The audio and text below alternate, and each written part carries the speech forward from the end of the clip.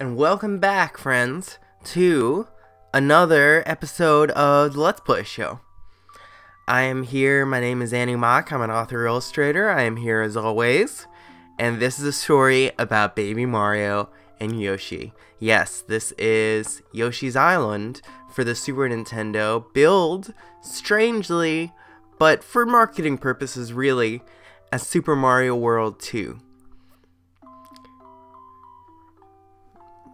We see here the stork carrying a pair of twins, so that settles any debate about whether, well, unless it's by minutes, whether which one is older and which one is younger, they're about the same age. Screech! These babies are mine! Wow. Who's saying this? Snatching only one baby, the creature vanishes. And look at that fucking animation. the stork just fucking going back and forth like fucking crazy. Oh my god. And the second baby falls. So, as I've heard other uh, YouTubers say before, Mario should never, ever, ever be able to take fall damage because, as an infant, he fell from fantastic heights onto this Yoshi.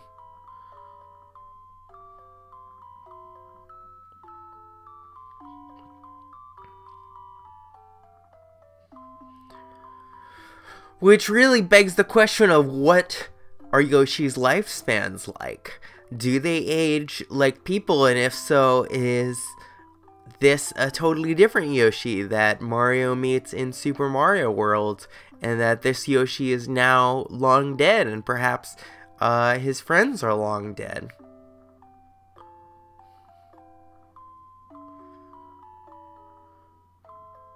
Yoshi takes a map, clutches it in his little hands.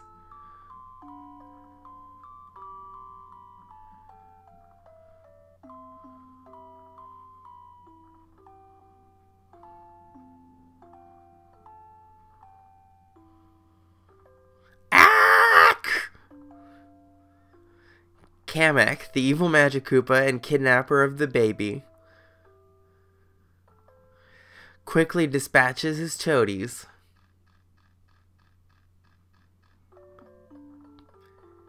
And when he discovers that he missed the other baby.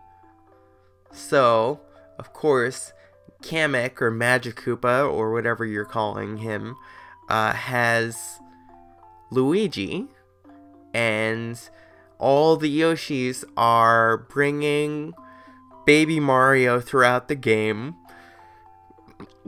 throughout Yoshi's Island, to find the other baby locked within Kamek's clutches because I guess Kamek is a true soothsayer who can see the future and can see that um, for uh, for um, Bowser, for little Bowser Jr., it really will be a problem.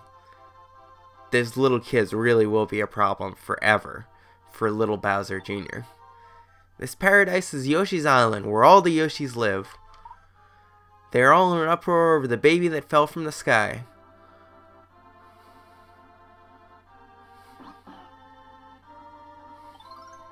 Wait, the baby seems to know where he wants to go. The bond between the twins informs each of them where the other one is. Weird. So it's again, it's as I mentioned in my uh, let's play of the GBA version, the kind of inferior GBA version. Um, it's like weird Wuthering Heights shit where one baby can contact the other through telepathy. The Yoshis, spelled with an IE, decide to carry the baby to his destination via relay system. Now begins a new adventure for the Yoshis and Baby Mario. And the first of the relay system is the iconic green Yoshi. Still begs the question, are Yoshis dinosaurs? What are they? Are they Yoshis? Are they a species unto themselves? Okay. Yep, yep, yep, yep, yep, we got it. Because we have played this game before, have we not? Um, I hope most of you have played this game before uh, in some form. If you haven't, I really hope that you get the chance to.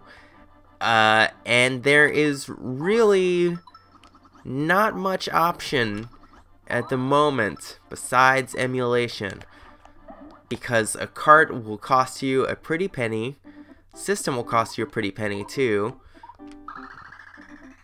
unless you're using a Retron 5 or something like that in which case the system will cost you a little less than a working Super Nintendo in this day and age or a classic SNES Classic if you can find one of those for uh, not a ridiculous price, which is not... Okay, I got it.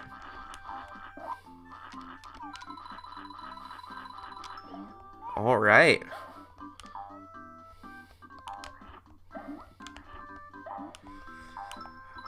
So yeah, there's not, as I was saying, there's not much way not many ways to play this game legally out right now. On the Wii U Virtual Console, you can play the GBA version. Problem with that is, GBA's sound card, much inferior. GBA's graphics card, a little bit inferior to the Super Nintendo. I mean, the level of detail that you're seeing in those lush marker backgrounds and um, I'll definitely do an art of episode about uh, Yoshi's Island, an Art of Video Games episode, which is the new series that, that I'm starting, which essentially examines video games that I believe are crafted well, are fun to play, are charming, all these attributes that I deem makes for an interesting, sweet, um, compelling game. that is a uh, video game analysis video series that is currently in the works and will be out soon. I believe the first episode is about. Second episode is about Undertale. Um, first episode is about the Sonic Advance trilogy. Oh god. Oh, yay, yay.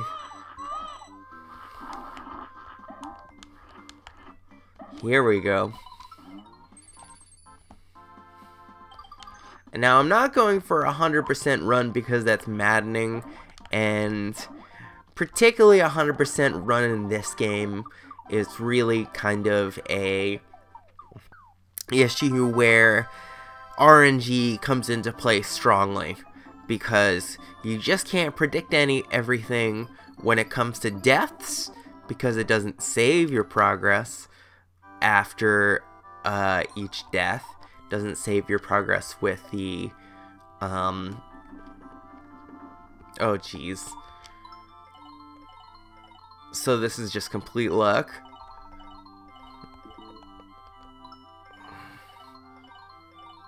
And that's a shame. And that's a total shame.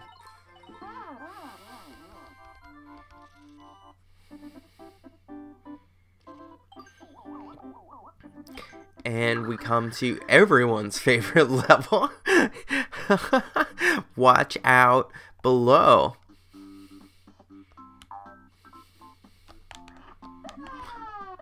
I'm joking, of course, it's not everyone's favorite level because this level is a bit of a pain in the ass for some people and I think was very maybe as little kids I think this game this particular level was a difficult or scary one.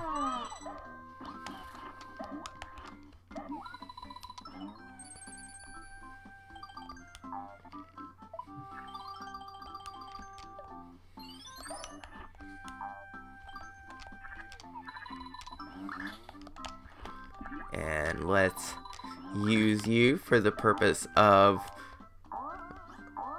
getting up. I'll use you and make you into an egg, which is another weird concept that never really gets explained within the context of the Yoshi universe. Now we are heading up into the 10 minute mark, so we're going to end this episode. But uh, thank you so much for joining me, and like, comment, subscribe if you want. Look out for the Art of Video Game series coming soon. And thank you so much. Take care.